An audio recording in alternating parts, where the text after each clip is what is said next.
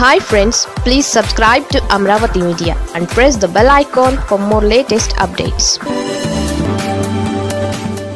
మంత్రి Narayana versus CRDA commissioner. అమరావతిలో ఇది పంచాయతీ. రాజధాని అమరావతిలో కొత్త పంచాయతీ తెర మీదకు వచ్చింది. మంత్రి నారాయణ సిఆర్డీఏ కమిషనర్ కాటమనేని భాస్కర్ మధ్య వార్ కొనసాగుతోంది.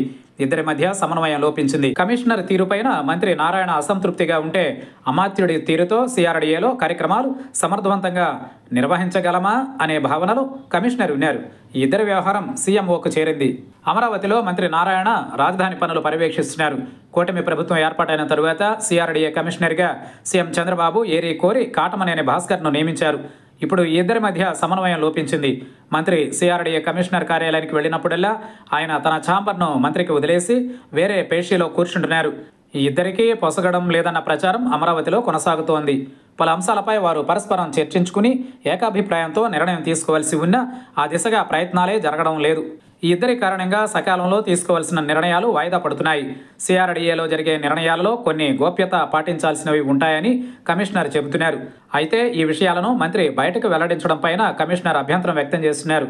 ఇటీవల టెండర్ల ప్రక్రియ విషయంలో కూడా ఇద్దరి మధ్య విభేదాలు మొదలైనట్లు తెలుస్తోంది. ఇద్దరు ఎదురుపడినా మాట్లాడుకునే పరిస్థితి ఏర్పడిందని సమాచారం. దీంతో మంత్రి నారాయణ ఇక కమిషనర్ను తప్పించకుంటే పనులు సజావుగా సాగవని సీఎంకు ఫిర్యాదు చేసినట్లు తెలిసింది. భాస్కర్ బదిలీకి సంబంధించి మంత్రి కార్యాలయం నుంచి ఫైల్ కూడా సీఎం వద్దకు వెళ్ళిందని ఇంకా నిర్ణయం తీసుకోలేదని చెబుతున్నారు. భాస్కర్ బదిలీ తప్పదనే ప్రచారం సాగుతోంది. ఇద్దరి సారథ్యంలో పనులు చకచక సాగుతాయని చంద్రబాబు భావించారు. అయితే వారిద్దరి మధ్య విభేదాలతో ప్రతిష్టాత్మకమైన రాజధాని పనులపైన ప్రభావం పడుతుందనే వ్యాఖ్యలు వినిపిస్తున్నాయి.